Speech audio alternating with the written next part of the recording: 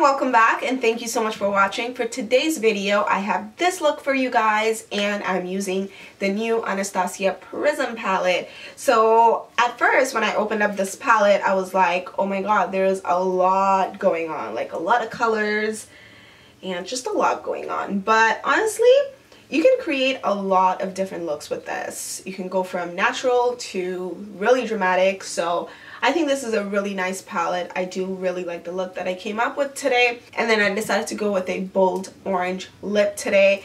I used the new Pat McGrath lipstick. So cute. Um, so it definitely feels like a very springy look today. I don't know why, but I was just really feeling a bright orange lip today and then all of this happened.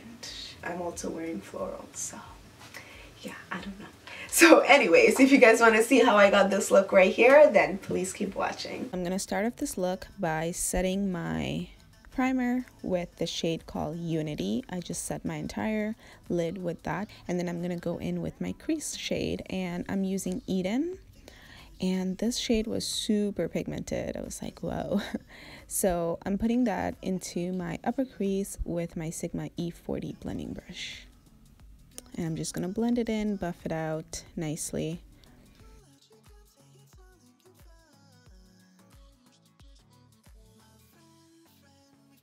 Next I'm going into the shade Saturn on a Sigma E35 blending brush and I'm putting this just a little bit below the first shade that we put, Eden, just a little bit below that to deepen it up and give it a more orangey coral um, look. So, and then I'm going back to the E40 just to blend everything out, all the harsh edges.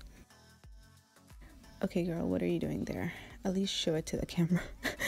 Anyways, I was actually using the um, dark brown in the palette. It's called Parallel. And basically what I'm doing is I'm kind of cutting the crease, but not really. It's not like a super cut crease. I'm just kind of defining the crease, I guess. And um, I'm just using a flat definer brush and drawing out kind of like a wing type of situation um, right above a little bit above my crease and then I'm blending it out with a pencil brush. It's not a super cut crease but you will still get to see a little bit of that definition in the crease so I think it looked really nice. I've never really done this type of look before. So yeah, I just wanted to try out something different. Um, so yeah, that's what I'm doing here. Blending it out with the pencil brush again. I don't want anything too harsh. And then I'm taking the Tarte Shape Tape and just kind of cleaning up right below the line. I thought I put way too much on my right eye, but that eye worked out perfectly fine and then I realized I put way too little on my other eye. So yeah I'm just cleaning up just below that brown liner type of situation that we did. So that we have a smoother base and a little bit more defined when we go in with the shadow on our lid. So yeah just cleaning it up here and then blending it out a little bit with the pencil brush again. And then I'm going to go into, oh, I'm going to blend it out one more time, I guess. Always blending out with my E40. I love it. I love my E40. And then I'm taking the shade Pyramid, which is a really pretty golden shade, and I'm just going to put that all over the lid and this was actually pretty pigmented. Didn't get a lot of fallout as well so that was nice. I didn't use any fix plus or anything so it was pretty pigmented. And then just again taking the pencil brush to kind of smooth out the lines. And then I'm just gonna go ahead and do a normal winged liner. Just a normal wing you kind of want to make it make the wing a little bit um, longer. Well not longer I mean just as long as the upper wing is that brown line. So yeah just do a normal winged liner. Then once I have the wing done, I'm to go ahead, um, curl my lashes, put on some mascara, and then falsies. Oh, by the way, I've been loving this Essence mascara. So good. And it's just under $5, I believe. Really, really good. I think this is the Lash Paradise. Um, really, really nice. Love it. Actually, one of my colleagues recommended um, this mascara to me, and I absolutely love it. So for my lower lash line, I'm taking the dark brown um, called Parallel on a flat definer brush and I'm just smudging that really close to my lash line. And then I'm taking the bright orange, which is Saturn, on a pencil brush to smudge it and smoke it out a little bit. And then I just wanted to add a little bit of that copper um, shade. It's called Eternal so I just smudge that under there as well. And then I'm gonna finish it off with some mascara. Okay so the eyes are done. I'm just gonna finish off the face. And I already have my base done just to save time but everything that I used I will link it in the description box down below. I am just gonna go ahead and set the contour with my Kat Von D Shade and Light palette don't mind my voice. I'm still kind of sick. and I feel like coughing every like two seconds, but I'm just like trying to hold it in.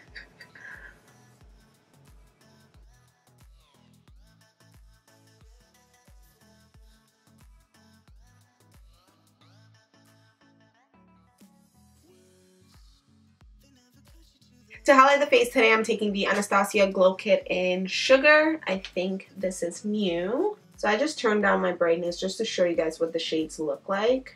Right over here for the highlight. I'm going to take Butterscotch right here. It's a golden shade. So it's just going to tie in with the gold on the eyes. This is pretty.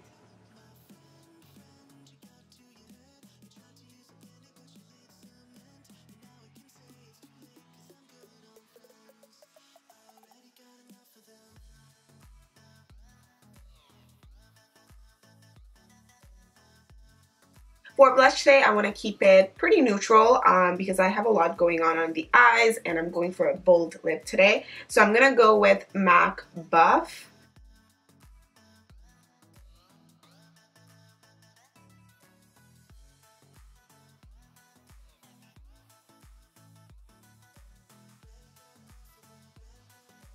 I want to highlight my collarbones.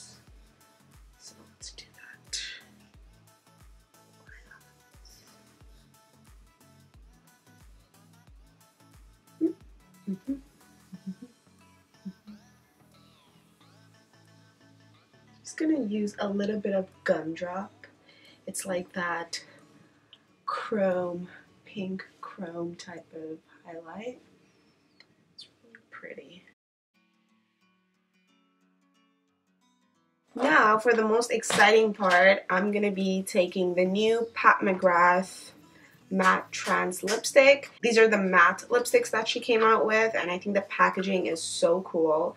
You get this little cute little packaging with literally like a face on it all around and it's so cool and then you open it up and you have the lipstick. So the packaging on the lipstick is super cool. I love the whole detail, the lip right here, and I think it's really cool. I decided to get this in the shade Obsessed 211. This is like a really bright orange. Um, it's weird because I never really go for bold lips, and if I'm trying out a new lipstick, I always go for nudes. But this one looked really, really pretty, and I just really wanted to go with a bright orange. I love bright oranges. So yeah, this is the one that I'm going to try out and see how I like it. And if I really like it, then I'm gonna go buy the nudes. Alright, so I'm just gonna pop this on. Whoa, I told you it's bright. It's bright. And these are really creamy. Wow.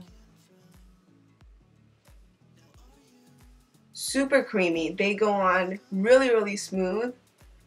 And for a matte lipstick, they're not, they don't feel drying or anything at all. It's definitely not a matte formula in my opinion. I was expecting this to be like actually matte, you know what I mean? But it's more of that satin finish.